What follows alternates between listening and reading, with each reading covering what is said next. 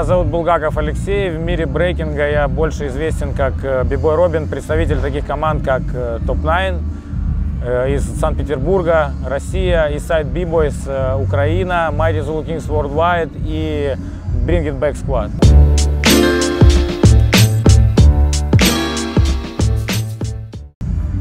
Робин, этот ник нашел меня сам, как бы к его созданию я не имею никакого отношения. Насколько я знаю, это имеет непосредственное э, отношение к э, персонажу Робин Гуда.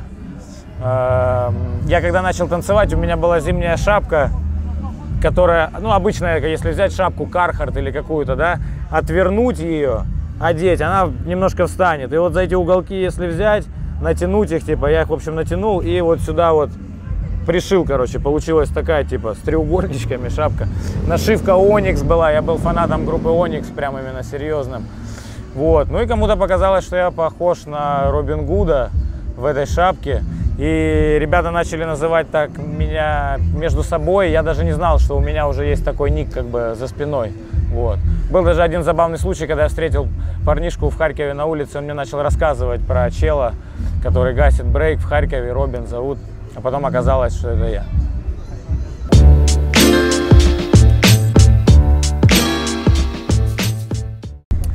Танцую я с конца 98 -го года. Э, если говорить именно о тренировке, мне эта дата запомнилась, то первая тренировка была 11 ноября 98 -го года. Вот. Но интересоваться, углубляться чуть-чуть я начал э, раньше сам по себе. Летом 98-го я приехал сюда в Ялту в пионерский лагерь. Э, и здесь, познакомившись с местными, они меня познакомили с э, рэп-музыкой. Такие группы, как Cypress Hill, Public Enemy, Onyx, House of Pain. Научили меня танцевать кресты, такое движение крис-кросс, так называемое, из хип-хопа.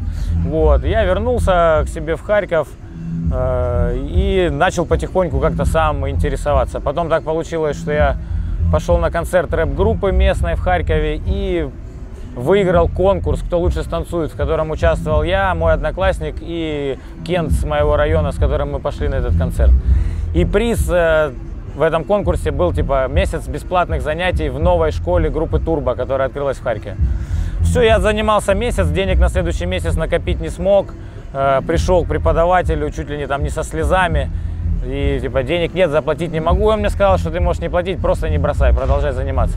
Это был карась, за это я ему очень признателен. Вот. И, в принципе, через год я уже танцевал в команде своих учителей, если так можно сказать, потому что многие вещи научился делать первый сам в своем городе, без э, какого-либо обучения, просто на визуальном раскладе.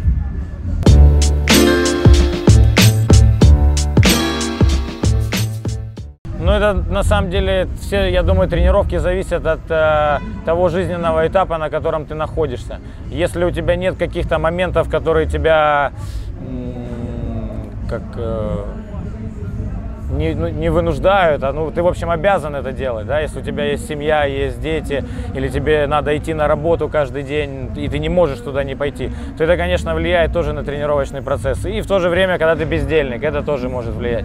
Тренируюсь я по-разному, вот в соответствии от э, того этапа, на котором я нахожусь. Бывает этап поездок, Бывает простреливают, бывает приглашают. Это, к сожалению, случается не часто, но мы над этим работаем. И в таком случае получается, что 3-4 дня в каждую неделю выпадает. Ты приезжаешь, тебе надо отдыхать после поездки. В общем, идет износ, можно сказать. Поэтому по-разному. Ну, я могу сказать так, если говорить про тренировки, если ты к чему-то готовишься, ну, на мой взгляд, допустимо даже 2 тренировки в день потому что брейкинг настолько обширен, что можно разбивать тренировочный процесс и тем самым нагружать раз, различные группы мышц. То есть, ну, все-таки такой немного подход уже более научный, можно сказать. И это, на, на мой взгляд, имеет место быть, потому что все развивается. И обычная просто нормальная тренировка, на мой взгляд, это от 3 до 5 часов когда ты от 3 до 5 часов, час ты тратишь на разминку, 3 часа на тренировку и час на так называемую заминку, подкачку или растяжку, чем ты там занимаешься. Тут уже подход у каждого свой.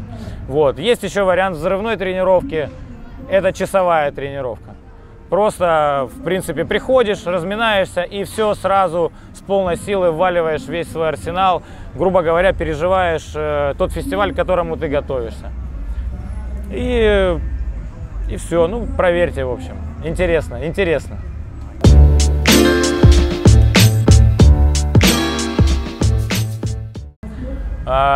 Сам по себе джем «Старая школа» э, и идея создания этого фестиваля пришли ко мне, потому что ну, надоело, в общем, надоело посещать обычные регулярные мероприятия, где все сводится просто к обыкновенному процессу. Ты приходишь, сидишь, ждешь отбора, потому что, скорее всего, нет места для разминок, либо все бибои команды расходятся по своим углам и занимаются растяжкой, разминкой, там, я не знаю, в общем, чем. То есть нету тусы как таковой, нету тусы никакой вообще, нету общения, ничего. То есть люди приходят, не проходят отбор, сразу же уезжают, проходят отбор, проигрывают в первом раунде, тоже сразу же уезжают и так далее. И как бы все постоянно говорят, что тусы там ни о чем и так далее, взнос много стоит там. И надо все время ждать, надо все время ждать. Это вот э, самый такой момент, который меня смущал, потому что ждать как бы у нас нет времени, ребята, ждать, понимаете, жизнь идет, надо действовать, ждать как бы это не вариант. Вот, поэтому нужен фестиваль, на который ты приходишь и тебе не надо ждать, где ты предоставлен сам себе. Вот. Концепт фестиваля таков, что первый самый первый edition старой школы был такой, что я собрал две сборные э, поколение бибоев и бигерл Украины, которые начали танцевать до 2000 года, и те, кто начали танцевать э, после, нет, даже до 2003, и те, кто начали танцевать после 2003. Был батл 40 на 40. Все 80 человек были приглашенные, с каждым я связался лично, и, ну, в общем, в таком порядке, потому что всеми организационными вопросами занимаюсь э, один. А, потом, переехав в Москву, мне пришлось изменить концепт фестиваля, потому что в Москве, как и во всем мире, вот это все уже приелось, надо что-то новое. И дети дети, ну, никуда от этого не деться. Это наше будущее, и они имеют место быть. И детей в брейкинге сейчас просто тысячи, даже уже миллионы, наверное, я не знаю. То есть, ну, очень много. То есть, не, не считаться с этой категорией, это глупо, потому что за детьми также стоят родители, которые вкладывают энергию, душу, время в своих детей, естественно, хотят для них лучшего. Поэтому я подключил еще и батл детских сборных. Вот, я решил э, попробовать э, и под, попросил поддержки у бренда Funkin' Furious, также бренд, бренд Breakdown поддерживали, чтобы э, э, каждый пришедший на тусу имел возможность выделиться и получить, э, попасть в сборную и получить э, эксклюзивный комплект одежды с эксклюзивными логотипами и цветами той сборной, которая была. То есть эта туса прошла, был батл 20 на 20, был фанк э, э, цвета хаки, был Furious сквад э, черно-белый, и вот как бы таких прикидов больше нет. То есть это, ну, по-своему история. То есть для кого-то, возможно, такие вещи являются пылесборниками, но есть люди, для которых это является именно действительно стоящими и весомыми воспоминаниями в жизни. Вот, на мой взгляд, воспоминания это самое главное, потому что, ну, это и есть как бы то, что мы проживаем, понимаете? Вот, дело не в, не в деньгах, не в, не в этом как бы счастье. Вот, поэтому каждый пришедший на тусу из детей имеет возможность попасть в сборные, танцуя 4 часа в кругах. Есть секретные судьи, которых никто не знает. То есть дети не знают, для кого они танцуют, и их задача не искать судью и станцевать для него, а просто прийти на фестиваль и получать удовольствие, делиться с друзьями новыми фишками, встречаться с людьми, которых ты давно не видел. Вот, в общем, в таком, в таком духе подход. И, естественно, взрослый батл, там уже 20 на 20, то же самое в процессе всего фестиваля, если он длится 8 часов, то на протяжении 6 часов э, идут отборы в кругах. То есть ты можешь сделать три выхода и пройти отбор, а можешь сделать 133 и не пройти отбор. Вот, то есть тут такое дело. Но и надо понимать, что основная цель прихода и посещения фестиваля это также не попадание в сборную, не в этом дело и ну, не в этом счастье как бы. Вот. Дело в том, чтобы быть на фестивале и вообще в принципе быть, понимаете. Будучи там, вам будет что рассказать потом, чем поделиться, чем зарядиться. И есть еще один контест, который называется «Почувствуй ритм». Вот. Он проходил все время под э, барабанщика уличного стрит-драмер Super Ed было, в принципе, концепт был простой. Изначально это были просто, мы отбирали в кругах точно так же секретные судьи, отбирали 8 музыкальных людей, которые не просто бьются со всеми подряд, не просто делают какие-то сложные фишки, а именно самовыражаются посредством танца. Ведь брейкинг это в первую очередь танец, это не спорт, это не спортивный танец, это танец, который имеет э, спортивная составляющая, можно сказать так. Вот. И они просто бились под уличного барабанщика. На последнем фестивале я изменил концепт. И на мой взгляд этот концепт очень интересен. Есть живая группа из э, пяти музыкантов. У каждого музыканта по одному инструменту. Мы выбираем 8 человек. Перед батлом один на один каждый из участников тянет бумажечку с названием музыкального инструмента и делает выход под фристайл музыканта. Вот. И сам, соответственно, он ловит, чувствует музыканта и начинает с ним взаимодействовать. Тот, кто проигрывает, кидает свой инструмент обратно, тот, кто выигрывает, оставляет за собой. В следующий раунд он выходит, тянет второй инструмент и делает выход уже под два инструмента. И, соответственно, в финале первый выход под три инструмента и второй раунд под э, полную банду. Вот такой вот концепт, где действительно проверяется скиллс и музыкантов, и бибоев.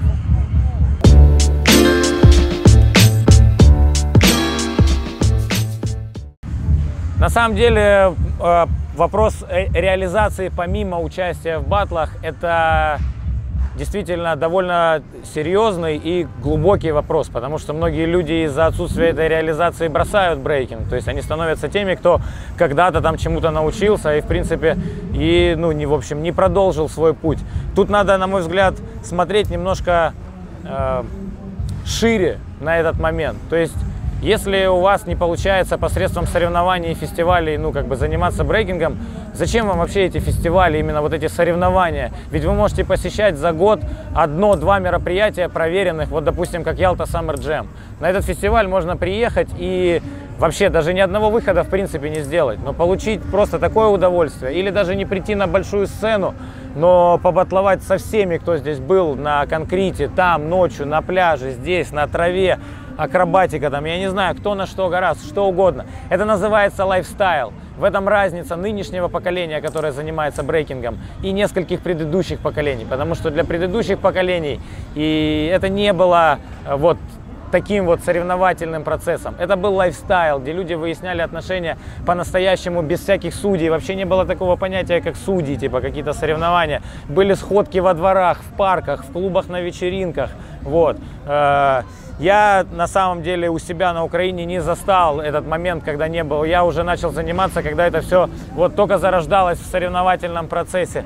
Поэтому можно сказать, что я представитель вот того поколения, которое было последним заставшим вот такой э, андеграундный брейкинг, потому что тогда увидеть брейкинг в каком-то э, клипе звезды какой-то, это была очень большая редкость, или чтобы э, бибои танцевали с, э, с какими-то звездами, это были единицы вообще, там только, только Джим Стайл или кто-то.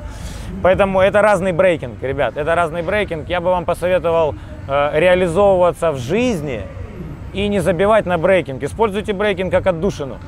Используйте брейкинг как просто средство расслабления, как способ медитации, как э, э, способ выплеснуть негативную энергию, как способ зарядиться, ведь мы танцуем под музыку, и музыка рулит всем процессом, вот в чем дело. Вот. И она дает вам энергетику. От нее зависит, какие движения вы делаете и как, каким образом будет выглядеть ваш раунд. Э, плывущим, агрессивным, резким, с остановками. Это зависит от музыки. Вот. Музыка это самое главное. Поэтому просто живите и не заморачивайтесь. Помимо этих соревнований есть много всего другого.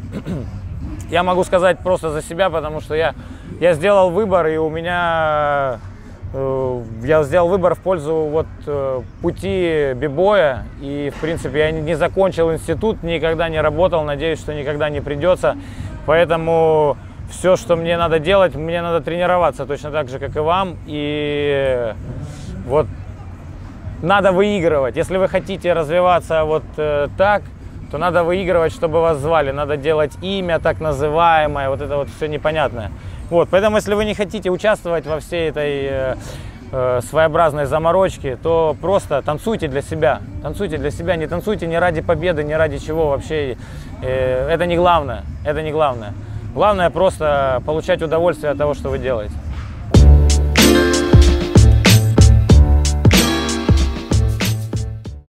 Смотрите, я бы сказал так, ребят, дело не в том, делаешь, делаешь, ну, по поводу complete b-boy или complete, complete b-girl, да, так, как бы сказать, целостное что-то. вот даже просто вот этот знак, он вам многое объясняет, смотрите, вот эта целостность, да, Если нету, к примеру, топ-рока, вот как бы уже, уже не целостно. Нет футворка, еще одна дырка получается. Нет флорока, нет фрезов, и в результате как бы... А есть что-то только одно, которое тянется к чему-то другому. Вот, нет целостности. Но я бы не сказал это именно вот так буквально, ты не делаешь это, значит, ты не бибой. Э, нет, это не так.